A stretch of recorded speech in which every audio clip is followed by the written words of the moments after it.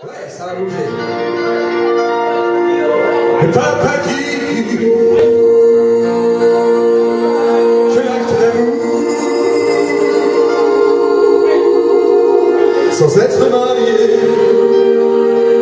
est un péché. Cette nouvelle.